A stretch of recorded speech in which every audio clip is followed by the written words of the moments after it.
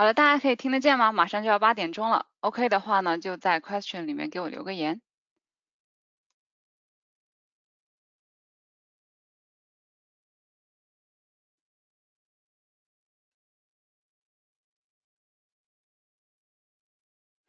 好的，那我们就准备开始了。因为今天同事生病，所以临时换我上网课，只有两个小时的时间做准备，所以内容不是很多。但好处呢，就是有大把的时间可以跟大家聊聊天啊，解答一下大家的疑问，所以大家也可以畅所欲言。那在一开始之前呢，还是跟大家做一个风险提示：今天所有的内容呢，都不涉及您自己的财务状况以及风险承受能力，都是属于一般性建议。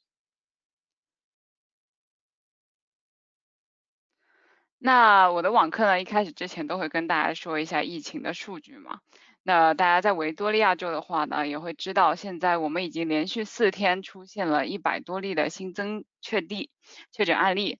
那今天呢，更是高达了一百六十五例啊。我们可以从左下角的这个图也可以看得出来，最近维州的增长很厉害，而且，对吧？澳大利亚的很多别的州呢，都已经对澳洲实行呃，都都对我们实行了封。啊，封禁对吧？像是呃新南威尔士啊，还有那个南澳，都已经在昨天午夜的时候呢，对我们实行了封禁。所以说我们现在呢，虽然是身处孤岛，但一定要众志成城抗击疫情啊！大家就安心的待在家里。我们呢也都是 work from home 的啊，大家去多囤一些东西，然后就在家里好好待着，就是安全是第一的嘛。那我们再来看一下全球现在的确诊案例了。那现在呢，也是增加到了一千两百多万例了。那我其实每次呢都会看一下美国，对吧？那我之前呢几次做网课的时候呢，美国的新增差不多是每天在两万到三万这样，那是他们比较控制的好的时候。可是现在呢，居然是之前的两到三倍以上。那可以看得出，它现在的疫情的控制是不不降反增的，是吧？就比较恐怖，那我们也可以看到美元最近有一个比较大的下跌，我觉得也是受到疫情影响的。那巴西呢和印度最近的增长情况也都比较严重一些。那我们可以想到，就是我之前一直说的，巴西的铁矿石等等的也会受到出口也会受到影响。那现在的话呢，还是以澳洲的铁矿石为主。但是未来呢，等到疫情结束之后，铁矿石会不会仍然很强势？那就是另外一个故事了，对吧？因为中国现在对澳洲的关系呢也比较紧张，那到时候可能会全部都移到巴西去进口也是有可能的。那关于疫情呢，我们就先说到这里，我们去看一下下一个 topic。那我在这是一张呃六月二号网课的截图啊，那当时呢我就给大家。放的这是一张黄金的一个走势的预测吧，当时就觉得黄金呢已经有一些开启了上涨的趋势，那我也把这张图放出来给大家看一下，差不多啊是六月二号，就是当时在一千七百三十七的那个位置，然后呢这个也是现在的这个走势图，差不多是距离上一节六月二号的网课呢是上涨上涨接近七十五美元，也是一个比较大的一个涨幅了。不知道大家有没有抓住这次机会呢？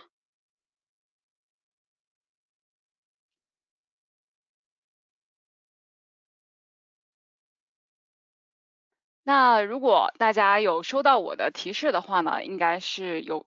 对这次的行情是有做准准备的，对吧？那在六月二十二号的时候，也就是上上周一呢，我也跟大家客户呢是群发了一个消息，说黄金是有异动的，而且呢就是开盘直接就创了一个月以来的新高了，那的确是一个比较强劲的涨势。那此外呢，在周四的时候啊，也跟大家又重新说了一下。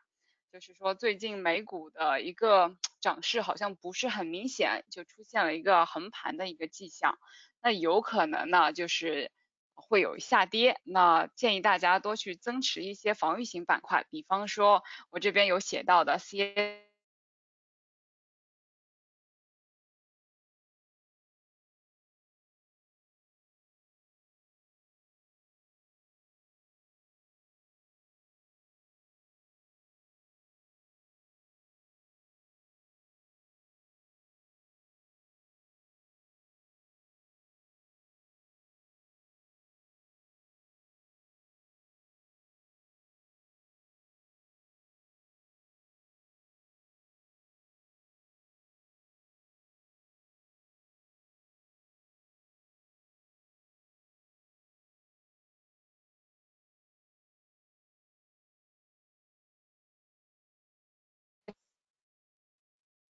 现在大家能听得见我的声音吗？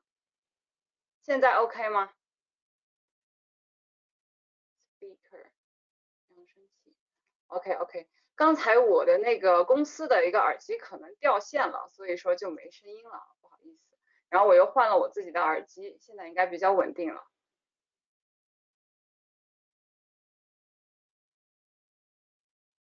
对，当时有说到这四个股票嘛，然后也是属于防御性板块的，可以着重关注。然后又再次提示一下，黄金有可能上涨。那我们也来看一下，嗯，哦，对，这个一会儿再看好了。我在周一。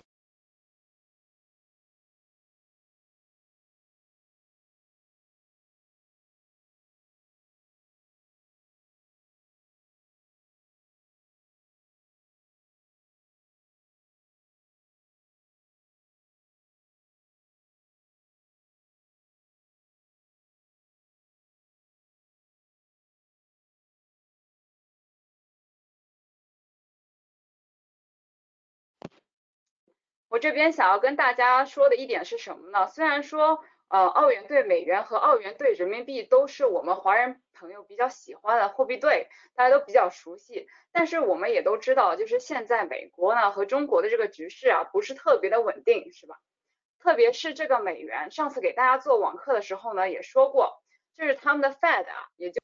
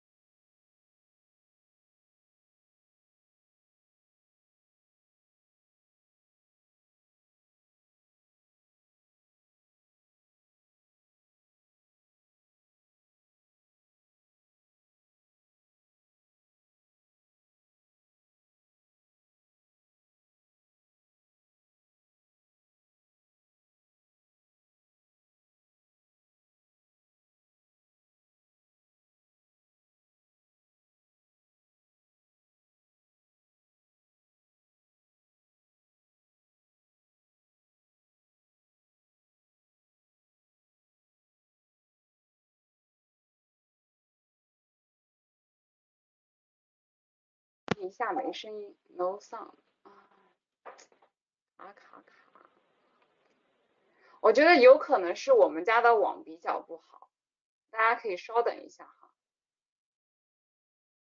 我来看一下，现在好了，OK，那从哪里开始是断断续续的？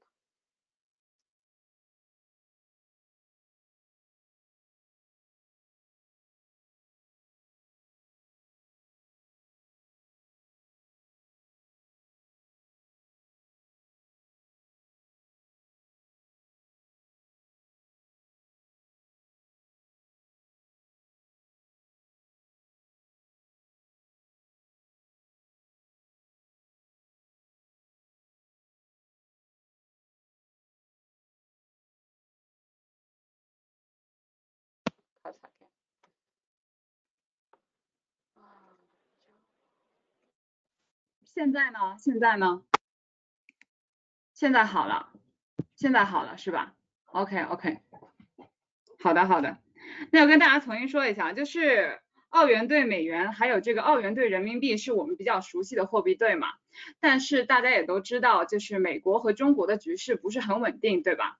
而且上次呢，就网课的时候跟大家说到这个美元啊，他们的那个 Fed 其实就是央行啊，动不动就跟市场说要印个几万亿、几千亿的，这对美国来说呢，美元来说其实不是一个利好的因素。所以最近呢，如果我们是看澳美的话呢，这是一个其实它是在涨的，而且已经涨了不少了，已经接近零点七了，对吧？而且呢，美元一弱势，其实所有的其他的非美货币都是在涨的，因为这个很正常嘛。此消彼长，对不对？而且之前也跟大家提到过，就是虽然黄金和美元都是属于避险产品的一类，但是走势呢却是完全相反的。所以最近美元的利空因素呢其实是更多的。那如果大家跟我一样觉得短期美元可能有更多的利空因素出现，或者说是走势会比较弱的话呢，大家可以通过买涨欧元对美元的方式去交易，或者说呢是做空 US Dollar 这个 index 去来获利。而我们再看看，就是我们之前提到的澳元对美元的汇率呢，是受到国家调控的。所以说呢，最近呢，我们也可以看到澳元对人民币基本上维持在四点八六的附近，没有太多的变化。所以呢，为什么我们会选择澳纽这个产品？是因为呢，相比于中国和美国，新西兰它的事情呢更加少一点，更简单，对国际能够产生的影响呢也比较有限。而且呢，最主要的一点就是这个新西兰呢，它的这个货币啊，往往跟澳洲相比啊，是更加弱势的。也就是虽然我们呢一直跟客户说啊，做直盘比较好，是不是？也就是说呢，对美元会比较好啊，但是其实对澳元来说呢，恰恰相反，澳纽呢可能才是更加直接的体现澳元价值的货币对。所以大家呢，如果说看到一些嗯对澳元本身有影响的一些消息呢，第一个想到的不应该是澳元对美元，或者说是澳元对人民币，而应该是澳纽啊，这就是我的看法啊，大家可以做一下借鉴。那接下来呢，我们也来看一下，就是从六月二十五号我推荐的那四只股票，那现在的表现如何？那这一张呢，就是沃沃斯超市的一个表现啊，那也是自上那个周四起呢，也是上涨了百分之八啊。那其实呢，cos 也是一样的，我给大家看一下 cos 的图啊，当然 cos 今天有一个大跳水啊。那我其实也想跟大家说一说，为什么我这么喜欢超市股呢？其实大家如果有从去年就开始跟我们一起看股评的朋友呢，就可以发现我其实在一八年呢写过一篇报告，就是说 COS 这家呃超市的啊，当时它跟 West Farmers 正好拆分出来，所以我对 COS 呢也是很有感情的。那我那我们先说一下，就是其实超市呢，就是它首先是一个防御型板块。对吧？它是由本土的内需造成的，属于那个生活的必需品。就算经济衰退，对吧？大家吃总要是要吃，对吧？用也是要用的呀。所以呢，在这种情况下不受影响的，也就只有这些本土的防御型板块的内需股了。那第二个呢，就是 COS 和 WOWOS 呢，现在还有疫情属性的加成。像是为什么我是在二十五号推荐了 COS 和 WOWOS 呢？就是因为我看到有新闻说 COS 和 WOWOS 他们又开始限购了。那限购是说明什么？那就说明东西不够卖了，是不是？那它的销量就上升了。那其实呢，这侧面的跟我们说，这就是一个最好的买入时机。所以在那个时候，我毫不犹豫就给大家发送了那一条短信。不知道有多少客户跟我一样，在那那一天就买进了沃沃斯超市的呢？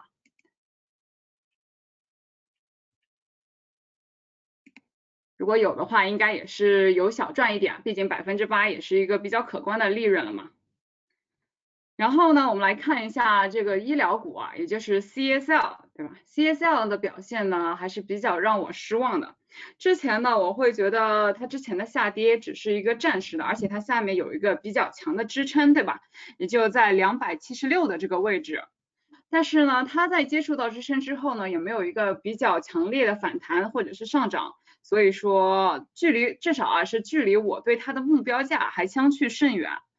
所以它的表现呢有点让人失望，但是呢现在仍然是一个很好的价格，毕竟我们知道 CSL 之前甚至有达到过三百四十的高位，那现在呢两百八十比我们之前最高位啊是整整低了是六十澳币了，所以呢大家可以对 CSL 这家公司做一些更多的了解，对吧？我们也有很多股评报告，大家可以去问我们的小助手，问我们这个 CSL 的报告啊已经出过两两篇了啊，大家可以看一下。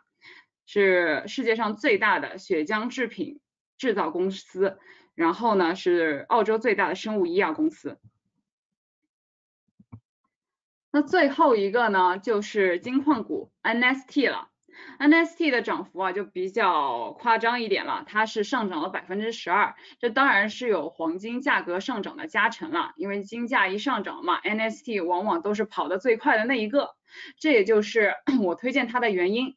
但是呢，我今天呀也有看到有投行的报道啊，说担心 NST 未来是否能够就是完成它自己的一个盈利指，就是嗯生产指引，他们是打一个问号的。而且呢，NST 呢它其实本身生产的成本是特别高的，所以说呢，这种股票呢，我还是建议大家呢去做短线的交易，而不是一个很稳当的一个长线的产品啊。这个我们之后也会提到。啊，那我们就来聊聊，就是大家最近都很关心的问题嘛。我收到很多很多客户的疑问，就是在黄金涨了之后，之前没有买上的怎么办，对不对？那黄金现在未来还能不能涨了？如果说现在买之后立马就跌了，那我们又该怎么办呢？对吧？其实黄金呢，其实我每次网课都会说过，都会说，而且之前也跟大家提到过好多次，就是呢，我认为黄金的上涨呢是需要积攒能量的。一般呢，涨多久就需要攒多久的能量。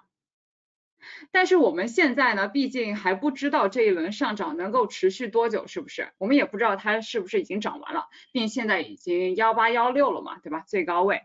那现在买呢，短期你可能会吃亏，但是如果不买的话呢，等到未来回过头来看，你还是有可能会要后悔。啊，我为什么这么说呢？因为大家如果听我们的直播啊，就可以知道我们的同事 Allen 呢，他预测啊，黄金会在未来的一到两年内啊，达到三千美元啊。虽然这个数字呢，对大部分的客户来说呢是比较夸张的，但是这也是表现了他对黄金的一个强烈的信心，是不是？而实话说呢，其实对于黄金来说，这个产品来说呢，只要是有耐心的客户，然后是小单的。并且呢，愿意可以长期持有的客户呢，我还没有看到过哪一位客户是亏钱的。啊，这不是我说大话，因为大家想一想啊，从黄金的价格呢，从二零一八年我们 Go Markets 开始频频推荐看好之后啊，就一直在创近短期的新高，对不对？所以所有的买方呢都是获利盘，大家都是赚钱的，包括现在黄金也是创了近年的新高了，是不是？那所有买进去的人是不是都是赚钱的啊？其实就是这个道理。而现在呢，我相信啊，疫情当头，在这个全球都在印钞的时代，黄金依然会继续上涨。所以大家只要找好合适的价位，分批买进，有耐心的 hold 住，我觉得问题都不是很大。那最主要的呢，就是赚多还是赚少的原因。我之前也跟大家提过，这个黄金呢，可以分成中长短三线的一个。一个投资啊去做啊，就有一些呢可能买的价位比较好，像有些客户啊他是在一千五甚至是一千四百八就进场了，那可能呢到现在赚了挺多了，他也不想抛，他就会一直拿着，这个是长线了。但是短线的呢，像有些客户在一千七百三十四那个价位入场的，那他可能呢就是已经离场了，因为他觉得短线的话呢已经赚够了，对吧？就是这么个道理。给大家借鉴一下。那第二个，我最近一直在收到的疑问呢，就是说，啊，因为澳股停，就是很多人在问我短线交易该怎么做，就是澳股的短线交易该怎么做啊？其实大家也可以看到，最近澳股呢有一些停滞不前，对不对？那我们呢，到底应该如何操作，才能从这个市场中盈利呢？其实回想之前啊，就是在股市在三月三月底到四月初的时候，股市 V 型反弹的时候啊，我倒是印象中没有哪位客户问我短线交易该怎么做的，大家都是在问我应该买哪个板块，对不对？所以现在呢，大家应该是心态上有了转变啊。我们可以从图上看得到，现在 ASX 两百的指数呢已经滞涨了一个月了，相信大家都有一些着急。啊，特别是和我一样买了旅游板块的投资者，最近利润全部回吐，对吧？之前的盈利都像是一场梦，不管是 Webjet 还是 Qantas、Fly Center，对吧？在疫情第二次爆发之后，维州封禁之后呢，都像是泄了皮球一样，一样一路的往下掉，都不带刹车的，对吧？现在都已经掉到三块一毛六了，啊，我相信大家对，包括我自己都是心碎啊。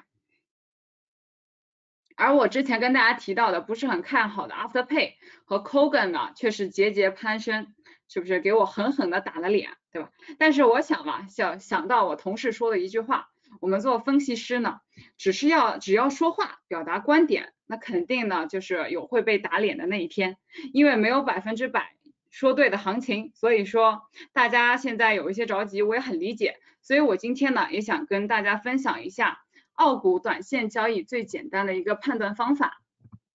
啊，这里是一张截图，是今天的啊，就是又是一位客户来问我怎么去做短线交易的啊，我这边给他的回复呢，就是说，其实每天呢可以看一下超跌股，就是今天跌的比较厉害的那一些，然后找一个自己比较熟悉的、了解的买一点啊，只要基本面没有大变，其实都是机会。或者呢，找超涨的股票做空，一般日内啊或者隔日小赚一点钱是没有问题的，因为他们的波动是比较大的。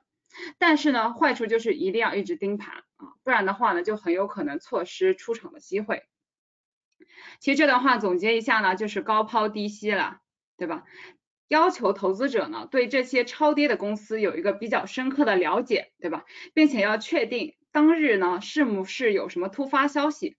如果是有这些突发的消息而造成了股价的下跌，那这个公司的基本面有没有什么改变？因为如果通常呢是基本面没有改变的话，像是 CSL 这类的公司，那么大幅的下跌呢就可以视为是绝佳的买入的短线买入的时机。但是如果呢是基本面发生了变化，那下跌通常会持续至少三天，甚至是长达半年、几年的下跌周期。那相当于就是接飞刀了，对不对？但是投资者呢，肯定也是难免会有判断失误的时候，所以在我们做短线交易的时候呢，一定要设置好止损，避免扛单，舍不得割肉或者是一拖再拖呢，就会导致自己被深深的套牢，那对我们的账户和投资计划呢，就是有很很大的不利的影响，很容易就被拖垮了，因为占用了太多资金嘛。大家需要需要知道的一点呢，就是这个市场中呢是一直是有机会的，错了一个不要紧，是懂得认错才是最关键的。所以我总结一下我说的两一点，就是第一个呢，就是短线交易必须要选择自己熟悉并且了解的公司。那第二个呢，就是必须设置好止损。频繁交易呢，也就是短线交易，更需要大家有纪律性。啊，而不是心存侥幸，觉得啊它跌只是暂时的，不能够盲目啊。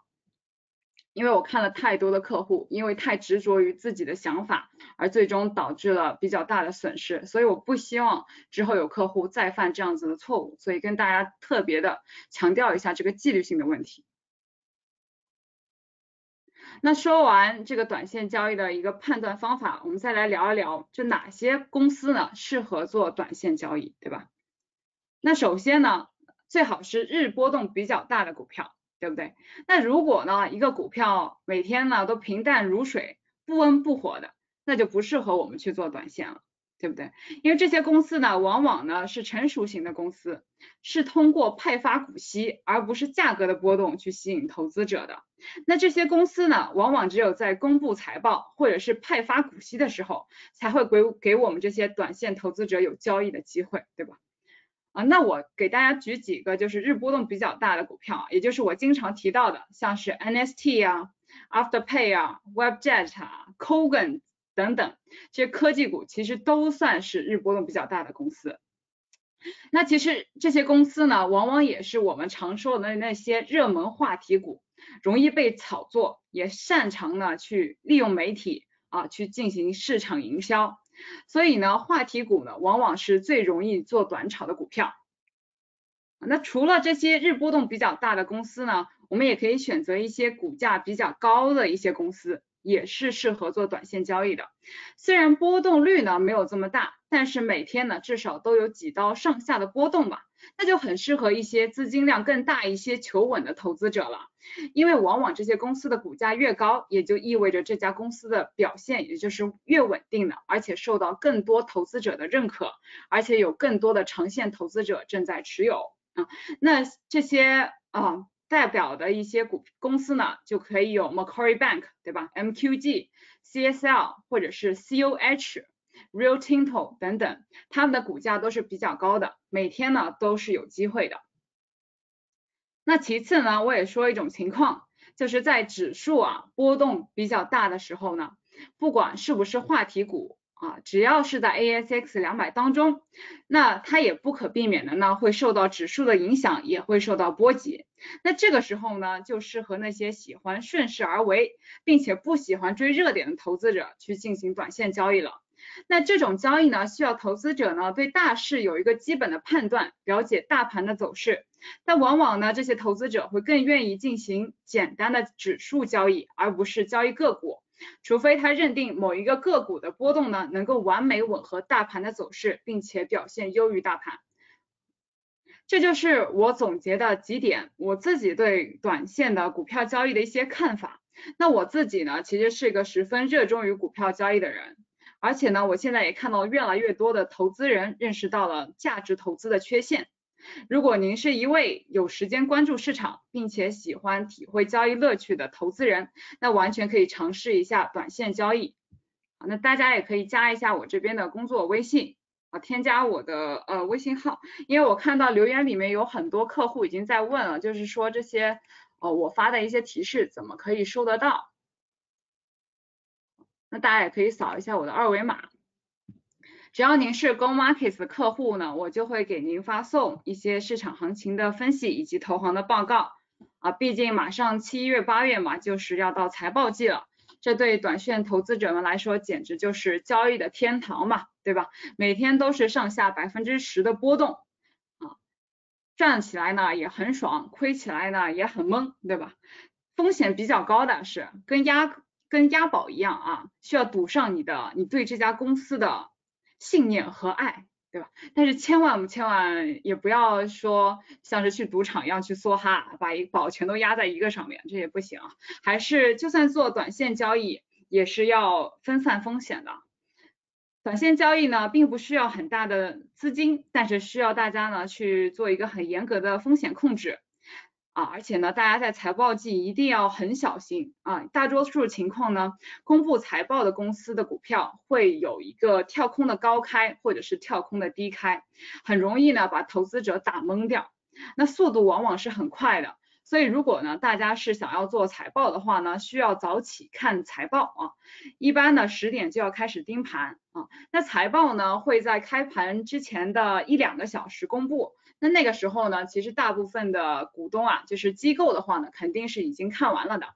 那当时他们就会做出反应。所以说呢，早盘投资人对业绩报告呢，一定要做出及时的反应。大涨大跌往往就是在半个小时之内啊，这也是很重要的，就是一定要快啊。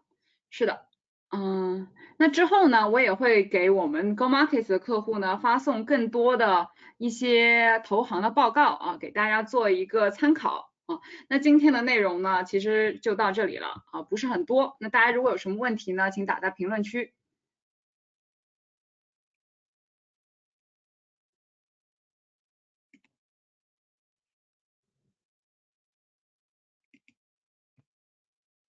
啊，有客户问黄金的持仓成本高吗？啊，其实不算高啊。我记得是一手的话，啊，我现在不能乱说，您可以回去看一下，就是黄金的那个持仓成本应该是个位数，啊，小于五刀的。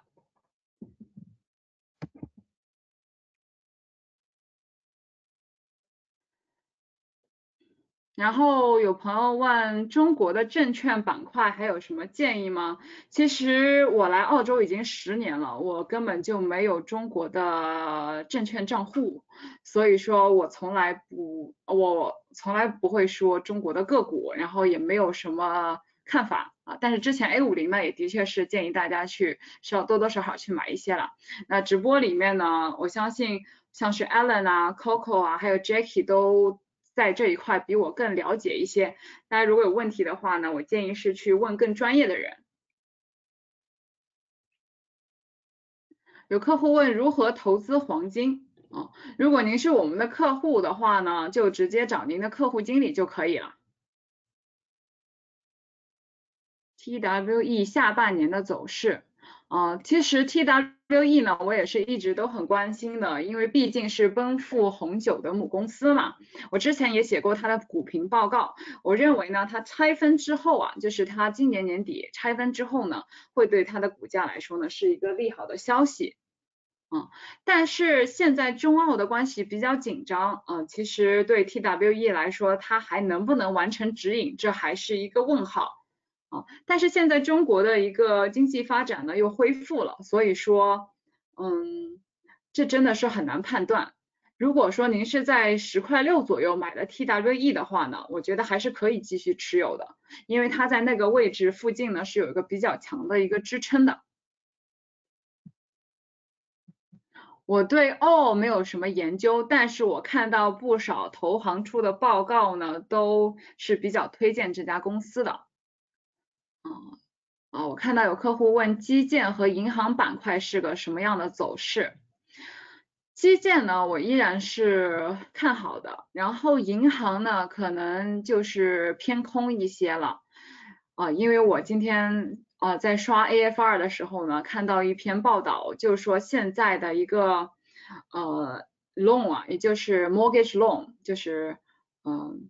贷款呢下降了百分之十啊，是史上最大的跌幅，所以这对银行来说呢，并不是一个有利的消息。而银行呢，大部分的盈利呢都是从这个 mortgage loan 出的，所以我觉得银行如果要恢复的话呢，需要一个比较长的周期。之前 Mike 呢也在广播里跟大家说过，其实澳洲的银行股的走势啊，就代表着澳洲真实的经济啊，所以说大家可以知道，现在澳洲的经济其实并不好的。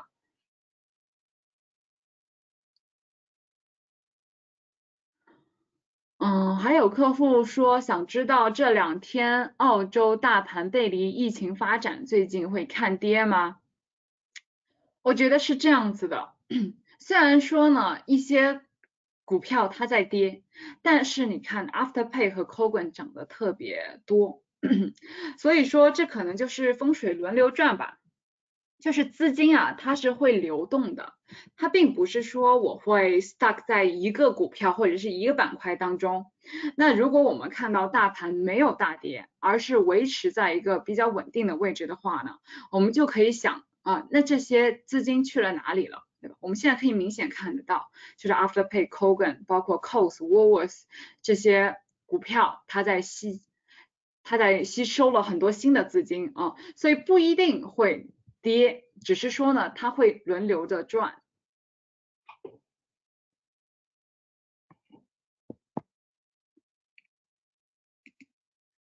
还有客户问到 LLC，其实 LLC 的话呢，我之前也跟大家说过很多次，而且我自己呢也是之前也是买过的这个公司，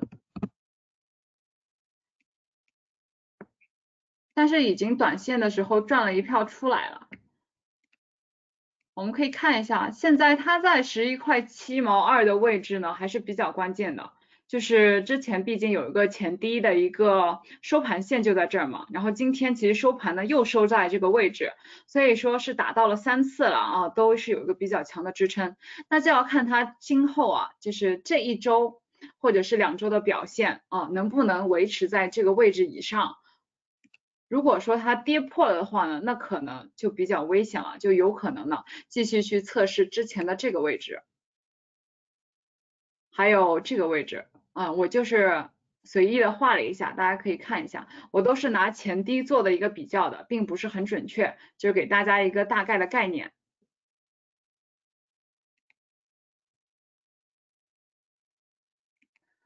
有客户问哪里可以看到公司的股评啊？那您可以问您的客户经理要就可以了，或者是找我们的小助手啊。澳牛短期看涨吗？嗯，您说的短期有多短？因为我不太看短期的，因为我觉得我的嗯分析水平没有嗯像是 Jackie 或者是 Johnny 这样子好，所以说您可以嗯向他们多咨询一下这方面的问题。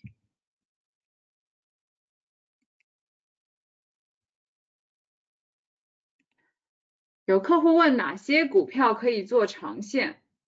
长线的话呢，我觉得就是您对这个公司更了解，或者是有有信心的公司吧，像什么 Corey Bank，如果嗯如果你买的价格合适的话呢，那绝对是可以做长线的。还有就是像 CSL，我觉得是可以做长线的。还有 Webjet 呢，我自己是打算做长线的了。哦，还有一点呢，就是今天有看到这个 J.P. Morgan 啊，就是对铁矿石，呃，铁矿石的一个预测，它是预测呢，其实在七八月出财报之后，铁矿石的公司应该会完成自己的盈利指引，也就是股价有可能是上涨的一个看法。所以大家可以借鉴一下啊，或者是多看一些嗯铁矿石之类的报告。但是高盛呢，他是认为在年底之前铁矿石的价格会下跌百分之十五啊，所以他们这两家投行是要打架了嘛？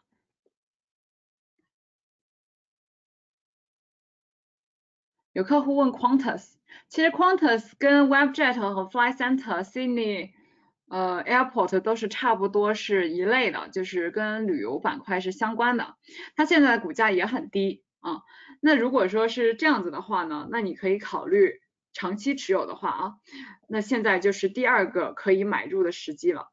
当然不排除它未来会下跌，所以说呢，分批买入是比较啊稳健的一个方式。Origin 等石油股是什么走势？那基本上就是吻合石油的走势了。就如果昨天晚上石油它是涨的话呢，那 Origin 和啊 WPL 大概率也是上涨的。那如果说是石油隔夜呢，比方说啊 OPEC 说我不同意减产，那完了。那 Origin 和 WPL 可能就要泄洪了，但是我们可以从最近的观察来看呢，其实 WPL 这家公司赛呃伍德石油吧，Woodside Woodside 它的那个表现还是比较稳健的，就基本上呢就没看它下过二十了，大家看一下是不是，就是基本上稳定在这个位置二十一以上。这还是不错的。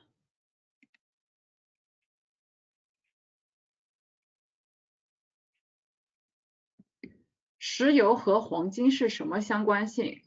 我记得啊，长期来看的话呢是正相关性，嗯，但是呢这个并不能给您的实际交易上带来什么帮助，因为它只是理论的。我对金也不是很了解。我当时呢，有个客户在问我这个问题，我当时看了一下图，我跟他说这个呢不太好买，因为从那个嗯呃固比复合复合移动平均线来看，它的走势不是很好看啊，就差不多是在这个这个位置的时候他问我的吧，也是很久之前了，我说不太能买。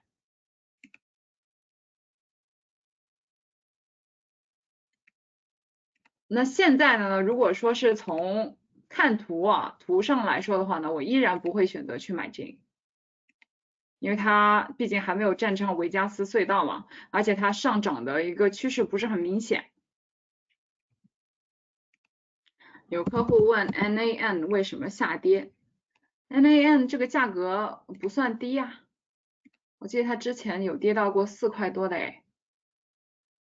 如果说呢？它没有出现基本面有问题的话呢，那现在就是一个加仓的机会了，因为它在维加斯隧道附近。我们可以看一下 ASX 两百，它现在其实也在维加斯隧道附近，对不对？啊，这个位置呢就比较关键。如果说它能够冲上去，啊，是这样子，蓝线呢是上涨，然后红线呢是下跌触碰后上涨，然后呢稳稳的冲上这个维加斯隧道的话，那澳股就要有一个比较长的一个上涨的趋势了。有客户，不少客户在问 NAN 啊，我看一下，我有好多客户都问 NAN 啊，还有客户问 Jackie 做空 Afterpay 止损了吗？我很负责任的告诉你，他止损了，亏的还不少啊。但是我觉得呢，他做的并没有错，就是嗯，就是专业的投资人呢，一定要学会认错。而且要控制自己的损失。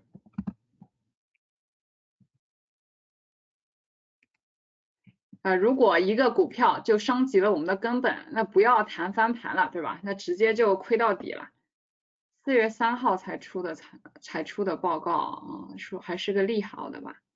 对，然后最近也没有出任何消息，所以说它下跌呢，并不是啊，并不是说基本面发生了变化，而只是一个正常的波动而已，大家不用太过担心。N A N 的话，如果是您对 N N A N 还是比较一个看好的一个嗯一个态度的话呢，您可以在这个时候选择去加仓，而不是说去把它割肉了。我不太知道 RRL 是什么公司哎，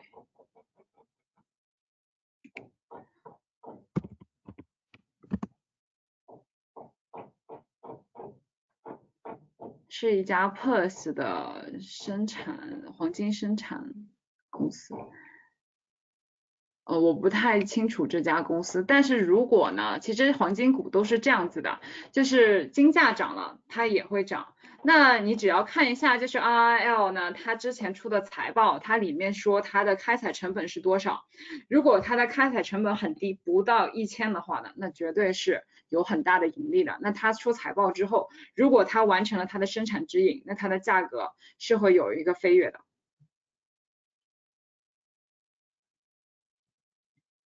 刚才在六幺 financial 的首页显示，摩根斯丹利上调 Afterpay 估价到一百十。我其实呃对科技股，我除了敢买就是 Microsoft 还有阿里巴巴，我别的都都不敢买啊，因为我不了解他们。像是 Afterpay，我觉得它还没有赚钱。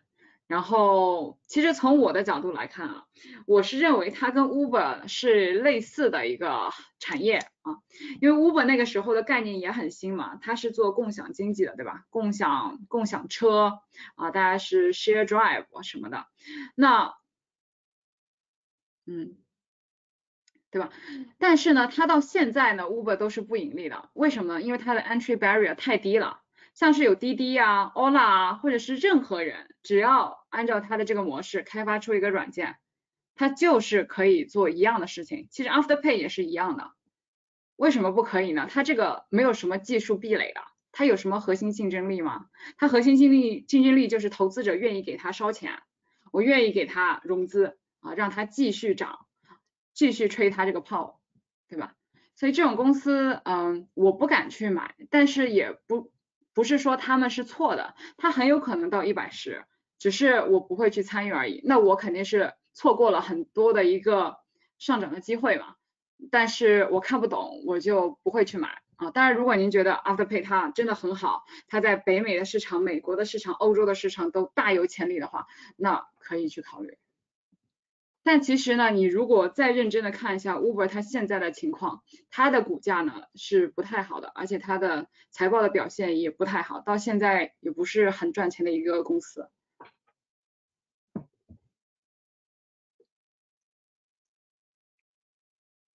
有客户问消费类的 CCL，哦，CCL 是什么公司呢？我好像没有做很多的研究。哦，嗯，Coca-Cola。我觉得是可以的。我觉得食品类的公司呢，它都是属于防御型板块。其实不光是 CCL 吧，我觉得 Bega 也不错，就是 BGA，就是一家做 cheese 的公司啊。它之前呢是在疫情的期间，它的表现是相当好啊，有一个很明显的就是很大的一个上涨幅度，而且呢是不光是回到之前的价位，而且呢是超出预期的一个上涨。所以这家公司呢，大家有时间的话可以去看一下。啊，我也没有给他做很深的一个研究，但是大家可以关注一下，我觉得这家公司还挺有意思的。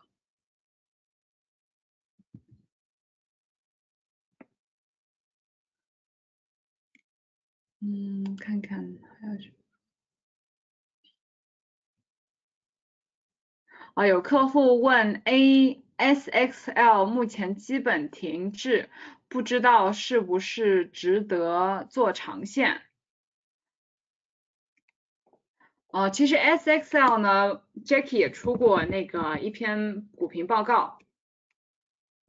我之前呢在那个网课上也提到过这家公司，就是它现在呢是完全是背离本质，但它未来的增长空间呢也不是说很大啊，它的运营肯定是有问题的。它现在呢只是一个 undervalue 的状态，就是我们如果呢希望它回到它的一个 true value 的话呢，我的预计呢之前是零点四四，但是现在呢我我又有点不太确定了，因为它最近的走势的确是比较差，嗯，但是我依然是 hold 住，因为我买的不是很多，我可以去放长线，这其实也要取决于您对它的一个投资量是多少了。这种股票呢千万不能够压太多的资金，因为它是没有未来的。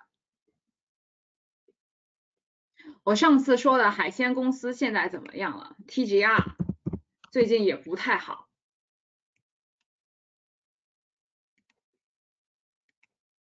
是吧？它的价格经历了大起大落啊，而且现在的走势呢，其实也不太妙啊，就是它的固比复合移动平均线呢，也是一个比较明显的下跌趋势啊，不知道就是不知道它最近的虾业开展的怎么样了。我还去买了两次，支持一下他的生意呢。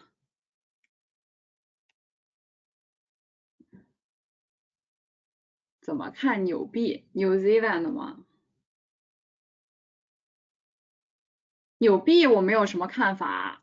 其实 Jackie 也跟大家说过很多次了，就是马上呢，就是明年的话呢是新西兰的大选，那那个时候因为政治不稳定会造成纽币的一个下跌，那到时候呢，其实澳元对纽元还是看涨的，只是现在呢，因为澳洲疫情的原因，包括它的那个货币的原因呢，说要维持通胀率等等的这些因素，会导致它现在呢是下跌的。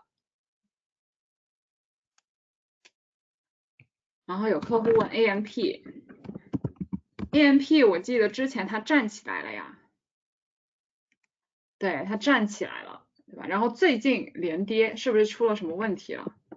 它其实跟银行的挂钩呢也挺也挺啊也挺多的，它是一个嗯类似跟银行呃业务比较嗯同类的一个一个公司了。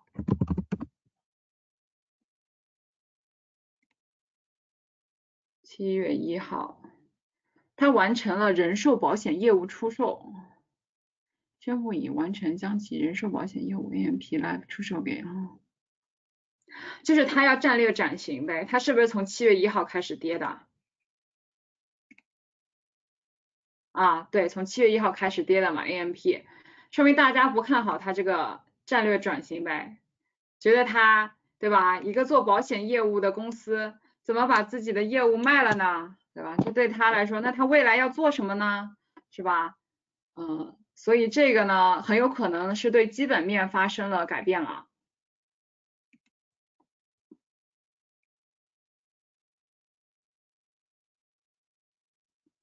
哦，但是 AMP 呢，还是有很多的固定资产的，像是我们公司的那栋楼，对吧？六百 buck 就是 AMP 的。他之后要转型去做什么样的公司呢？就大家还不太清楚，所以也不太敢买。那我现在的话呢，我就看不太懂他现在这个要要怎么办。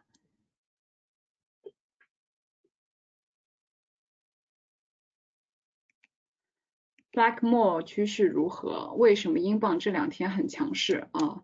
英国呢？如果说您要去交易英镑的话呢，一定要了解英国和欧盟之间的情侣关系，对吧？而且要了解，就是 Boris 这个人啊，你要多看他的新闻，要喜欢他啊，因为 Boris 呢经常会发布一些啊意想不到的政策啊，那他的这个政策呢也跟英镑的走势很有关系。我记得 Boris 是发发了一个什么，就是他们推出了一个比较利好的政策，然后英镑就上涨了五十点。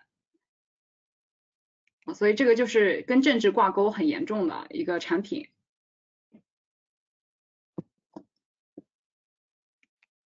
啊，还有客户问 Blackmore，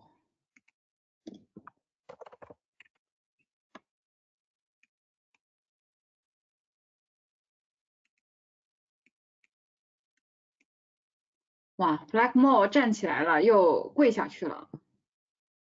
我觉得主要还是因为就是跟中澳的关系吧，因为最近不是中国和澳洲又开始嗯互相开撕了嘛，这对 Blackmore 来说其实是有挺大影响的，因为它的进口呢就会受制，这对它的销量来说是不利的，而且现在中国限制很多代购，啊，所以说它未来财报能不能好看，销量能不能达到预期，这是要打个问号的。我觉得这也是它现在下跌的主要原因了。如果说它没有出别的公告的话，还有客户问 WPL 是不是加仓的机会？我觉得短期来说，中短期来说，我不认为是，因为我没有看到石油还会继续大涨的可能性，它已经涨到四十了。然后，如果您去研究一下投行的一些报告的话呢，他们对石油到今年年底的一个预测，也就是差不多四十多，不会到五十的。所以呢，WPL 是不是要加仓啊？这还是您自己要决定一下了啊，研究一下这个石油的价格啊，未来的预期怎么样？啊，有客户就问了，为什么同样是贸易战，A two 就没有影响？那 A two 嘛，之前 Jackie 也说过很多次了，包括 Mike 也在广播里面跟大家说，对吧？这个 A two 呢，毕竟是奶粉啊，就是大家就是要是硬需，不像是红酒或者说是保健品，可有可无。这个孩子呢，中国就是要喝奶粉的啊，而且他而且大部分的宝妈都是很认 A2 这个品牌的。大家其实想一下，现在疫情对吧？就是。说不定很多孕妇呃的数量也会增加，所以大家有可能会囤更多的牛奶，更多的婴儿奶粉呢。啊，这只是我的一个猜想。其实今天呢，呃，今天时间差不多了，那就到到现啊到，那我们就准备结束了，好吧？那谢谢大家这么晚还来听我们的网课。